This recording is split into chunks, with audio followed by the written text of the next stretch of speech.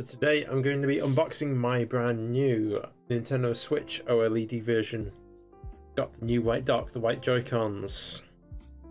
So I think without much further ado, we're going to go ahead and start the unboxing. So let me go ahead and get everything ready. So let's have a look there. Box lovingly packed by an awesome uh, courier.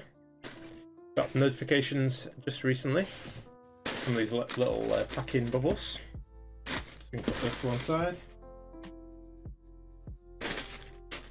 Make sure you recycle these properties as long as you've got like a nice little recycle um, text on them. It means you can recycle. So yeah, we've got a few of these. Let's uh, get rid of these. Recycle those later. And I believe what we're left with is a box. So I open this over here. Here we go. So let's have a look at what we've got. So this is the front of the box. In fact, it, this is actually a smaller box than originally came with the Switch. Maybe there's some kind of complaints as to waste it, wastage.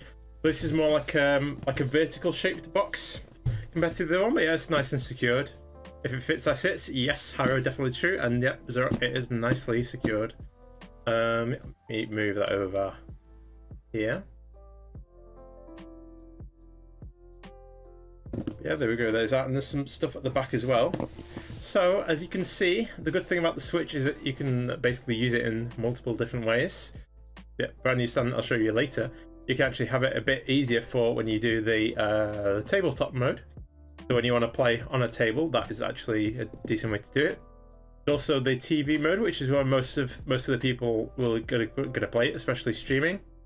Um, in which case, it's going to be the brand new dock, which does have the Ethernet port built in. So if you happen to be quite close to your router, you can enjoy a nice fast connection. In fact, I might plug that downstairs later and download my games because that's going to be pretty quick, I would imagine.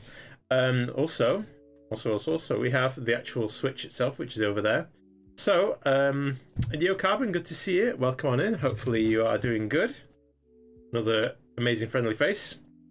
So yes, um, handheld mode uh, is going to be the main draw of this particular Switch because the uh, bezel is actually going to be um, smaller on the new Switch. So you actually get the full 7-inch screen size, which is good. Also, the model is very slightly bigger and very slightly heavier than the original two. And also, as a little bonus, you do get these two white Joy-Cons as well. Otherwise, you can go ahead and get the the neon uh, neon red and blue color switch as uh, new switch as well. But there we go. Um, Retail price for this is, I believe, £309 in the UK, and I believe it is $350 in US. Uh, you can look online to see what the um, amount is in your local currency. So there we go, nice pretty box. Um, so it's going to come with a few things. It's got the, the Switch tablet itself, which is the main unit. You're going to get the two uh, Joy-Cons left and right, the uh, left and right Joy-Con strap. We also have the um, the grip, HDMI cable, uh, power adapter and the dock itself, the new dock. So, with that said, let's open this up and see what is inside. Go ahead and uh, pull on this tab. Right, cool. Let's have a look. That. This is basically saying um, press the power button to enter or exit sleep mode. That's going to be the top left of the switch. And I can hold the little uh, buttons on the Joy-Cons to detach from the switch or the, or the grips. So, go ahead and open this open this box up. All right, so we have a few things here already. So here's one of the Joy-Cons. This is, I believe, the right one. Um, difference between these, well, you can actually tell. Um, let me just take them out of these little bags. So it feels quite nice and good. Um, I believe these are mainly the same as the Joy-Cons that they've released before. Um, apparently they are working on to make them like more reliable in the long term, but you may still get the old Joy-Con drift issues. It's it's largely the same as the previous ones. Um, with these, you do get some special features. I believe the right one is the one that's got the heart rate sensor. Um, so for some games, they'll use those. And the right Joy-Con has the home button, uh, control stick, and the um, the actual action buttons, uh, A, B, Y, X, and you also have the plus button, which in most games are at the start. You have the two shoulder buttons. So in fact, there's a lot of buttons, so you can actually literally play with one of these and just play a lot of games on its own. But otherwise, you'll need the second Joy-Con, which is over here. So this is the left Joy-Con. So this one is, again, kind of similar to the other one. You've got the control stick, you've got the directional buttons this time. Um, again, depends on what, what game you play. Uh, minus, uh, the buttons here. Also, there are two smaller shoulder buttons on the inside, which you may not realise.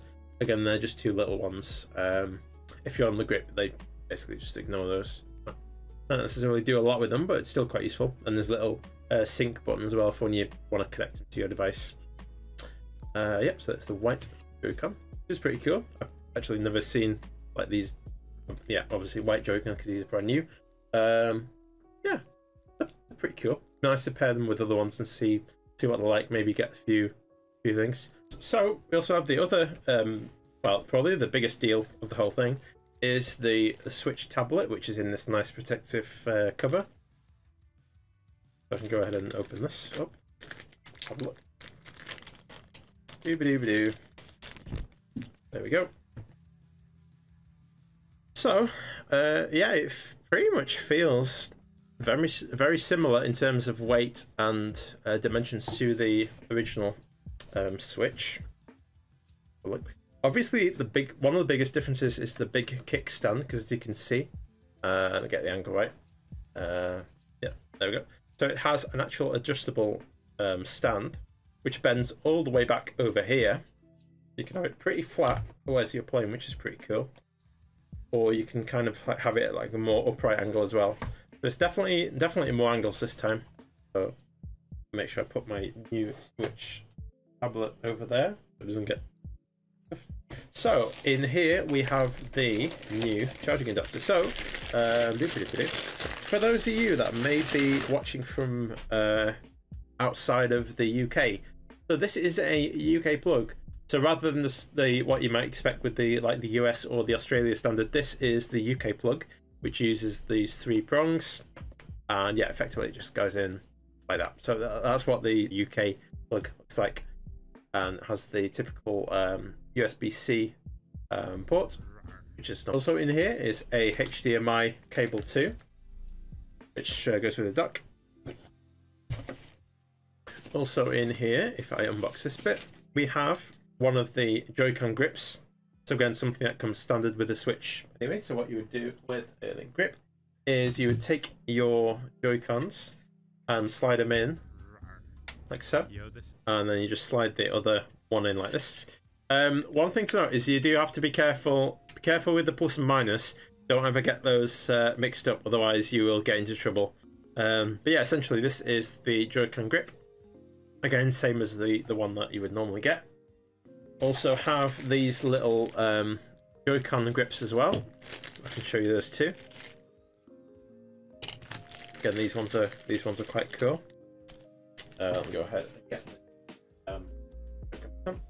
so yeah, with this, you just press these little buttons and then that lets these slide out of the railings. So, there's only one thing left in the box. I can, I'll do a recap anyway uh, in a bit. So, let's have a look and see what's this. This is the other part of the Switch, and this is probably, that's going to be the thing that's most important for streamers and um, I would say uh, competitive gamers. So, let's see what's inside. This is the brand new um, Switch OLED dock. So this is the yeah the new dock. I have a look. So I believe this back panel can effectively come off. So that shows you the inside. It's got these nice little uh, yep. So you can see the if I have a look, if I show you, those are the nice little uh, grooves that are inside here. I have to admit, it's got a nice kind of it's got a nice kind of sheen like on the front. You can probably see. if I hold this up here. You can probably just about see there's that whole Switch logo there which has got a nice little indent. It's got a nice, nice kind of feel to it. I believe also the curved edges are one thing that was um, with the complaints with the original dock, which has the harsh edges. I believe that's one good thing, although I believe they also recommend you do still use your um, uh, dock, dock sock if you happen to have one. So yeah, on here, if we have a look at the back, there is actually a dedicated LAN port, so you can plug your typical uh, Cat5 Ethernet cable in there. Um, yeah, I would say it's pretty sturdy. Looks pretty decent. Has uh, two USB slots at the front. Also has a uh, little AC adapter at the back and HDMI out. out. So there's two USB slots. You can also get a USB hub for your Switch as well if you need more uh, ports. But yeah, there we go. There is the dock as well. As you can see, this one is asking me to slide my Joy-Cons in. We are going to end it here. So thanks everyone for checking out this awesome unboxing of the Switch OLED. I will be putting the highlights of this on YouTube for you guys as well.